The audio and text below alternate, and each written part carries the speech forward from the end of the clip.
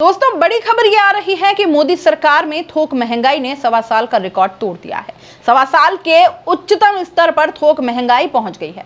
आम आदमी के खाने का सामान लगातार महँगा होता जा रहा है, निवाला छिनता जा रहा है। लेकिन महँगाई और बेरोजगारी की बात करने वाले लोग, बीजेपी अध्यक्ष और मोदी सरकार में मंत्री जेपी नड्डा को अनपढ़ लगते हैं। राहुल गांधी और प्रियंका गांधी को अनपढ़ कहते हुए जेपी नड्डा क्या कहते हैं?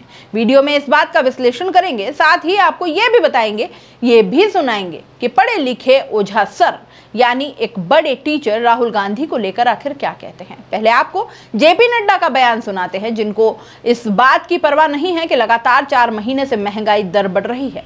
आम आदमी का जीना मुश्किल हो रहा है और जेपी नड्डा महँगाई की बात करने वाले विपक्षी नेताओं का किस तरह मज़ाक उड़ाते हैं?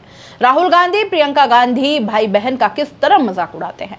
बयान में आपको सुनाते हैं कि जेपी नड्डा ने आखिरकार पढ़ा लिखा अनपढ़ कहते हुए महँगाई और बेरोजगारी को लेकर कैसे उपहास करने का काम किया है? और यह मज़ाक उड़ाना राहुल गांधी या प्रियंका गांधी का मज़ाक उड़ाना नहीं है, आम जनता का मज़ाक उड़ाना है। क्या कहते हैं जेपी नड्डा? एक कार्यक्रम में जरा सुन लीजिए। सब लोग पढ़े लिखे अनपढ़ मुझे दिखते और ये मैं आपके सामने नहीं बोल रहा हूँ, ये मैंने राज्यसभा में भी कहा है, अपने वक्तव्य में भी कहा ये पढ़े लिखे अनपढ़ है। सुरेंद्र नागर जी, इसके चश्मदीद गवाह है। मैंने कहा कि ये पढ़े लिखे अनपढ़। इनको मालूम नहीं है। ये सब लोग खड़े होकर के बोलने लगते हैं अनएम्प्लॉयमेंट बेरोजगारी बेरोजगारी। फिर इसके साथ साथ बोलने लगते हैं, महँगाई। ये मुद्दे ला करके खड़ा करते मैं आपके सामने कुछ विषय रखना चाहता हूँ। आज कोरोना की मार के बाद और यूक्रेन और रशिया के कॉन्फ्लिक्ट के बाद। तो दोस्तों, आपने सुना कि बेरोजगारी के मुद्दे को बड़ा बनाने के लिए, महँगाई का मुद्दा उठाने के लिए जेपी नड्डा, राहुल गांधी, प्रियंका गांधी का मज़ाक उड़ाते हैं और कहते हैं कि दोनों भाई बहन संसद में करते रहते हैं, विपक्षी नेता करते रहते हैं। महँगाई महँगाई, बेरोजगारी बेरोजगारी, इस तरह मिमिक्री करते हुए जेपी नड्डा मज़ाक उड़ाते हैं। महँगाई का मुद्दा उठाने वाले नेताओं का राहुल गांधी, प्रियंका गांधी को पढ़ा लिखा, अनपढ़ बताते हैं।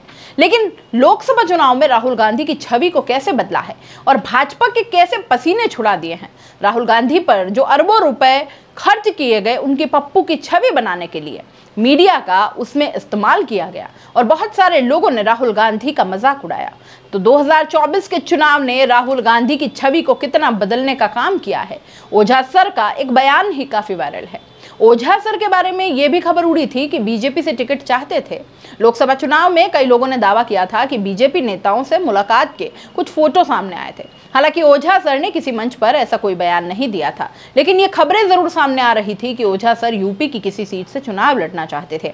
अब इस खबर में कितनी सच्चाई थी, ये तो ओझा सर जाने। लेकिन ओझा सर का राहुल गांधी पर जो बयान वायरल है, वो बीजेपी नेताओं को भी सुनना चाहिए। जो राहुल गांधी को पढ़ा लिखा अनपढ़ बताते हैं। ओझा सर क्या कहते हैं? जरा सुन लीजिए। और जो सबसे ज़्यादा जिस व्यक्ति ने मुझे प्रभावित किया पिछले दिनों में, वो है राहुल गांधी जी। 20 साल उस आदमी का मज़ाक उड़ा। एक समय ऐसा है जब उस आदमी ने संसद में कहा कि हाँ मैं पप्पू हूँ। जब मैंने वो सीन देखी, मैंने कहा, दो बातें हो सकती हैं। जब आदमी अपनी बुराई करे, या तो गुस्सा हो रहा है, और या फिर परिपक्व हो रहा है। अपनी बुराई करना सबकी औकात नहीं है। जिस दिन राहुल गांधी जी ने कहा था हाँ मैं पप्पू हूँ, उसी दिन मैंने कहा था, या तो ये आदमी परिपक्व हो रहा है। और या विक्षिप्त हो रहा है। बीस साल बेजती सही अपमान सहा। कई बार तो हम ही ने कमेंट किया। लेकिन वो आदमी साधना करता रहा करता रहा करता रहा। चलता रहा, घूमता रहा, मिलता रहा, लोगों से गले लगाता रहा। और प्री निकल गया उस आदमी का 2024 में। इस बार की कट ऑफ़ नब्बे प्लस जाएगी। निन्यानबे सीट उस आदमी के पास है। प्री निकल रहा है उस आदमी का। और उनतीस में अगर ऐसे ही वो साधना करता रहा, व्यक्ति तो मेंस भी निकलेगा और इंटरव्यू भी निकलेगा। आखिरकार इस बयान के मायने क्या है दोस्तों? इस बयान के मायने ये हैं कि देश के मशहूर टीचर भी अब जब इस बात को कबूल रहे हैं, इस तरह के अनेकों वीडियो सामने आ रहे हैं कि देश का बुद्धिजीवी वर्ग राहुल गांधी की जो छवि बनाने की कोशिश की गई थी, ये मानता है कि यह छवि राहुल गांधी ने अब तोड़ दी है और अब जनता राहुल गांधी को गंभीरता से लेती है। बीजेपी ने जो अरबों रुपए राहुल गांधी की छवि बिगाड़ने के लिए बहा दिए उस पर पानी फिर गया है। भले ही बीजेपी नेता महँगाई, बेरोजगारी जैसे मुद्दे उठाने पर राहुल गांधी को पढ़ा लिखा अनपढ़ कहे लेकिन देश की जनता भी अब ये तो समझने लग गई है कि उसके असल मुद्दे क्या हैं। बेरोजगारी, महँगाई जैसे मुद्दे देश की जनता के लिए कितने मायने रखते हैं, जिनका जेपी नड्डा जैसे नेता भरे मंच पर मज़ाक उड़ाते हैं मिमिक्री करते हैं। महँगाई, बेरोजगारी जैसे मसले पर आप जेपी नड्डा के इस तरह महँगाई, बेरोजगारी के मुद्दे पर राहुल गांधी और प्रियंका गांधी को पढ़ा लिखा अनपढ़ कहने पर क्या सोचते हैं?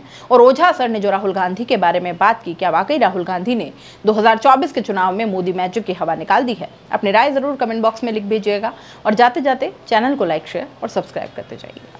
तो दोस्तों, खास मुद्दे की बात और उन लोगों के काम की बात जो बनना चाहते हैं सोशल मीडिया यानी यूट्यूब और इंस्टाग्राम पर एक बड़ा इन्फ्लुएंसर और महीने के हज़ारों लाखों कमाना चाहते हैं तो आपके लिए बेबाग राजस्थान एसके क्रिएटर्स के साथ में लेकर वो चीज़ आए हैं, यानी कि मास्टर क्लास कोर्स लेकर आए हैं, जो आपको बनाएगा इंस्टाग्राम और यूट्यूब का बादशाह। आप यूट्यूब के चैनल पर ज़ीरो से लाखों सब्सक्राइबर और इंस्टाग्राम पर भी ज़ीरो से लाखों फॉलोअर्स कैसे बनाने हैं, कैसे बनेंगे? YouTube चैनल बनाने से लेकर लाखों सब्सक्राइबर गेन करने तक। हर छोटी से छोटी जानकारी इस मास्टर क्लास के अंदर आपको सिखाई जाएगी। सब कुछ सिखाएँगे। दो महीने की ये मास्टर क्लास है। हर हफ़्ते पाँच क्लास होंगी। आप बन सकते हैं ज़ीरो से हीरो हर वो टेक्निकल नॉलेज जिसके बूते पर आप अपना चैनल ग्रो कर सकते हैं और लाखों कमा सकते हैं। तो देर किस बात की, नीचे लिखे नंबर पर कांटेक्ट करो और अपनी सीट बुक करवा लो, क्योंकि बहुत सीमित सीटें हैं। बाकी फ़ीस कितनी है, आपको और क्या क्या ज़रूरी जानकारी चाहिए, वो सब कुछ आप इस नंबर पर पूछ सकते हो।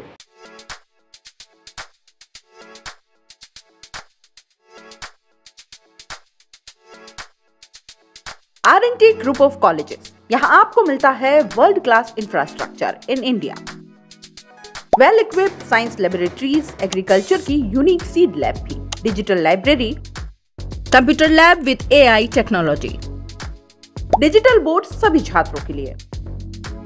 ऑनलाइन स्टूडेंट्स के लिए पॉडकास्ट रूम भी अवेलेबल है। चित्तौड़गढ़ ज़िले और एमएलएसयू उदयपुर का एकमात्र एक्रीडेटेड कॉलेज कोर्सेज हैं, जिनमें B C A B com B S C bio maths agriculture B A B Ed B A B Ed B S C B Ed B S T C M M S C M com बड़े और खुले ground sports के लिए, जहाँ होती है sports activities training personality development student development activities seminar और conference facility भी।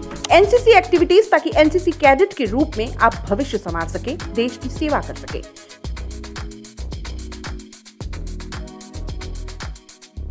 ये विजन है R N T and Vivekananda group of colleges के चेयरपर्सन डॉक्टर वसीम खान का। तो आज ही ज्वाइन करें R N T and Vivekananda group of colleges